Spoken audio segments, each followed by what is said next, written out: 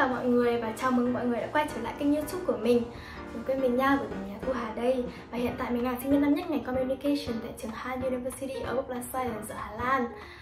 Thì ngay sau khi mà mình lên vlog đầu tiên nói về hành trình của mình đi từ Hà Nội đến Hà Lan Mình rất bất ngờ và hạnh phúc khi nhận được sự ủng hộ siêu siêu nhiệt tình đến từ tất cả mọi người.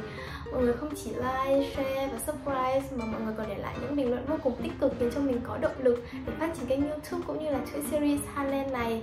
Mình đã đọc hết tất cả comment của mọi người và cảm nhận được sự yêu thương của mọi người dành cho mình và cảm ơn tất cả mọi người rất nhiều và mình cũng rất yêu mọi người. Sau khi đọc hết những comment của mọi người thì mình nhận thấy là có rất nhiều người có hỏi mình là mình đang ở ký túc xá như thế nào, phòng mình có rộng không, hay là ký túc xá ở đây có khác nhiều với ký túc xá ở Việt Nam không? Thì hôm nay cũng là điều mà mình muốn làm trong vlog 2 của series Hanland đó chính là room tour căn phòng của mình.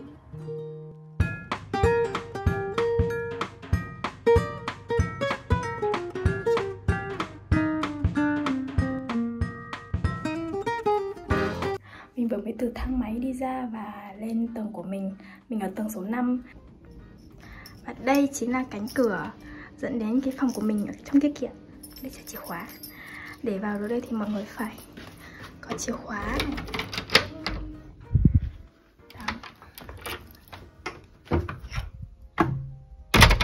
Mình đang đứng trước cửa phòng mình và bây giờ thì mình sẽ mở cửa phòng mình ra nha mọi người.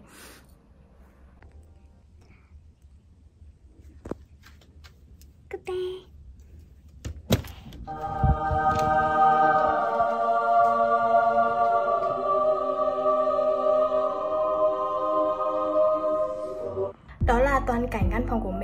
Thì nó có một chút là phòng của mình bao gồm có một bếp riêng ngay từ cửa đi vào Một tủ để đồ, một tủ quần áo, ờ, một chiếc giường và một cái hộp tập riêng. Ngoài ra thì Hà Lan bây giờ đang vào mùa lạnh rồi Nên là rất may khi phòng của mình còn có cả máy sưởi nữa. Máy sưởi thì ở ngay dưới cửa sổ phòng mình Và nó sẽ giúp cho mình sống sót qua mùa đông giá lạnh ở Hà Lan này. Are you sure about that? Và mọi người biết không, điều đặc biệt mình rất thích ở căn phòng của mình đó chính là view căn phòng này nhìn ra ngoài ngoài đường và có rất nhiều xe cộ và mình rất thích cái đèn giao thông ở đây vì nó rất đẹp với mọi người. Đây chính là view từ căn phòng của mình nhìn ra. Và điều mà mình thích nhất khi ở ký túc xá đó chính là góc học tập của mình. Và cái học tập của mình được trang bị một chiếc bàn nhưng mà không hiểu sao mà phòng nào ấy cũng sẽ có hai chiếc ghế như vậy. Thường thì mình sẽ để ba lô ở một ghế và mình ngồi học ở một ghế. Thì ở trên bàn học của mình có được một bức tranh. Ở mỗi phòng thì đều có một bức tranh tùy từng góc khác nhau. Còn phòng mình là ở góc học tập của mình luôn. Và mình đã decor bằng cách uh, dán thêm cái lịch mình mang từ Việt Nam đi và dán nốt ở trên cái bảng mà mình được bố chị cho. Còn đây là laptop. Từ Việt Nam đi luôn. Mình, kiểu, siêu thích các học bài của mình ấy, tại vì nó rất là màu mè, với cả ở bên cạnh chỗ học bài thì cũng có một chiếc cửa sổ, có view mây trời rồi nhà cửa rất đẹp. Nên là mỗi lần không làm được bài thì mình lại nhìn ra cửa sổ. Và hôm nay là thời tiết Hà Lan, không nắng cũng không mưa. Nên là có mây đẹp như thế này, nhưng mà hôm nào mà mưa thì thôi rồi luôn. Và ở bên cạnh bàn học của mình là cái giường ngủ của mình và mình có trang trí bằng cái đèn nháy. Thì mình có uốn nó thành hình mặt trăng như thế này. Nhưng mà mình không tìm được chỗ mua cái dính ấy, nên là mình phải để băng dính dính lên nên là nó bị rất là xấu. Nhưng mà khi mà đến tối mình, kiểu, bật lên thì nó sẽ mất hết những cái phần băng dính, chỉ kiểu nhìn thấy ánh sáng ở trên đèn ra thôi ấy. Và mình cũng trang trí những bức ảnh mang từ Việt Nam sang và mình có tới tận ba cái chăn liền, tại vì nó rất lạnh như mọi người đắp ba chăn nhưng mà vẫn thấy lạnh ý còn đây là gối này, tại vì gối ở đây nó bị nhăn. Mình không hiểu sao nó không có khóa như ở Việt Nam ấy. Nên là nó cứ bị nhăn ấy. Nó nhăn hoài luôn. Ga giường của mình cũng nhăn luôn, không làm thế nào cho nó thẳng được luôn. Ok, nhìn chung nhá. Nhìn chung là mình thấy thì ở bên này ấy, mình có bàn học với cả có giường ngủ thì cũng giống khi mà mình ở Việt Nam. Mình học cấp 3 ở Việt Nam, mình ở ký túc xá thì cũng được trang bị giường ngủ rồi là có cả bàn học riêng và mình còn mua thêm cả giá sách riêng nữa. Nhưng mà mọi người biết gì không? Ở bên này ấy, có một điều tuyệt vời là mình có bếp riêng. Nhưng mà ở Việt Nam thì mình không có, mình phải mua đồ ăn ở căng tin với cả, kiểu, có thỉnh thoảng có nấu gì đấy thì cũng chỉ, kiểu một chút chút thôi, nấu nhiều quá thì sẽ có chung báo cháy đấy mọi người.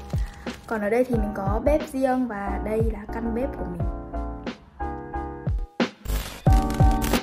Và chào mừng mọi người đến với bếp của Hà.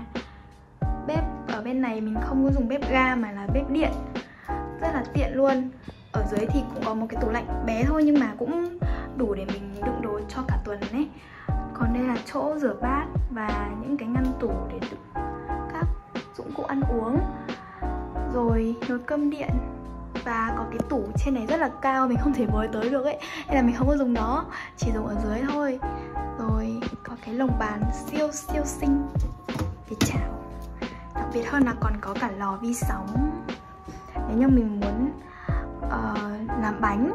Nhưng mà mình chưa bao giờ làm bánh như mọi người kiểu lò vi sóng mình chỉ để quay lại thức ăn thôi.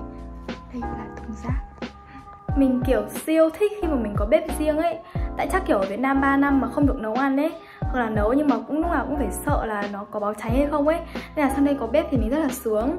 Mặc dù là lúc đầu mới sang cũng chưa quen dùng bếp điện, tại vì khi mà bật lên nó không có như bếp ga là nó, mình biết là nó đang có ga như thế nào đấy. Nhưng mà đây, kiểu, mình không biết là nó hoạt động như thế nào, kiểu, cũng nóng ngóng. Nên là lúc đầu thì cũng làm cháy một số thứ nhưng mà dần thì mình cũng quen rồi. Và mình nghĩ là mọi người ở Việt Nam mà nấu ăn, thích nấu ăn ấy, xong rồi để sang đây kiểu có bếp riêng, xong rồi kiểu nấu những món mình yêu thích ấy. Kiểu siêu sung sướng và hạnh phúc với mọi người.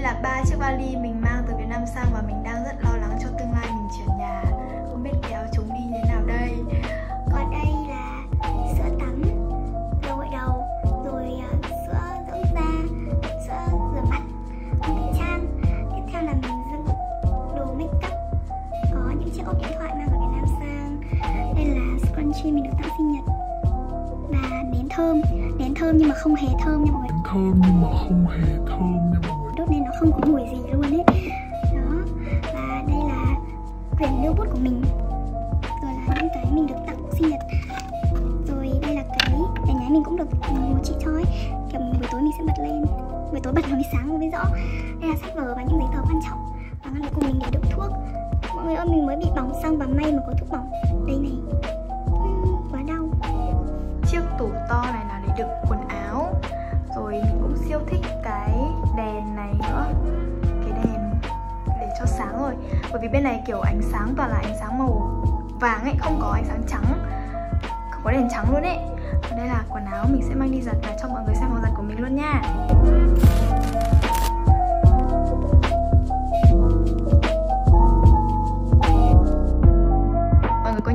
Trên cái cửa kia, rất cẩn thận khi mà trang bị cho học sinh sinh viên cái mắt để nhìn ra ngoài, xem ai đang đứng ở ngoài, đúng không?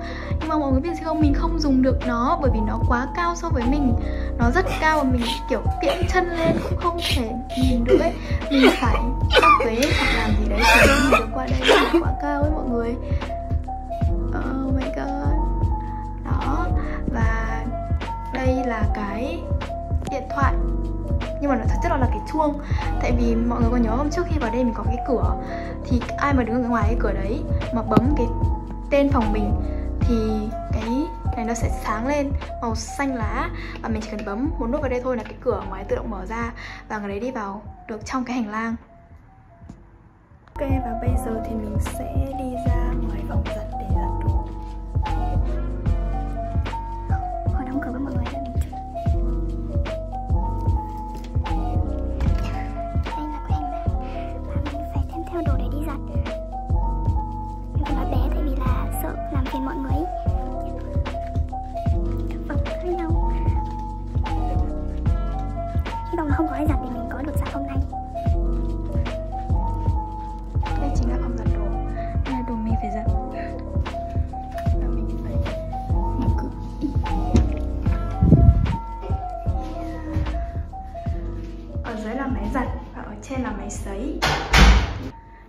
cho một cái cục nước giặt này vào thôi. Và mình cho đồ vào trong.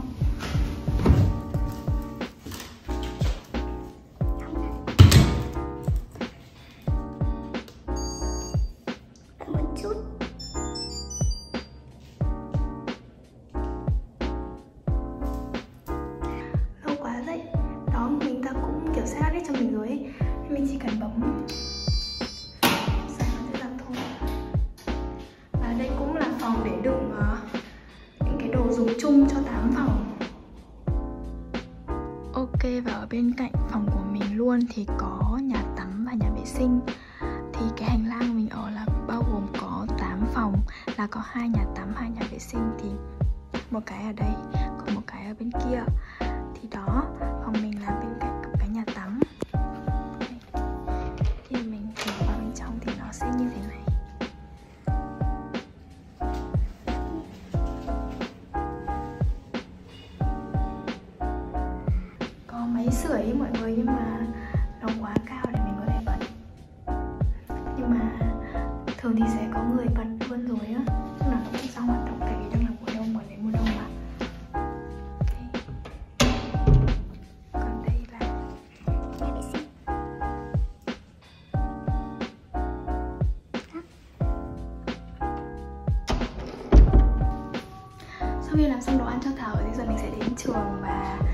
ăn cho Thảo và edit video. Tặng mọi người một chút hoàng hôn của Hà Lan trước khi mình kết thúc vlog thứ hai trong series Highland này. Và một lần nữa mình xin cảm ơn tất cả mọi người rất rất nhiều vì đã dành thời gian xem vlog của mình. Và trong tương lai thì mình sẽ có nhiều vlog hơn nữa. Hy vọng sẽ gặp lại mọi người trong vlog gần nhất.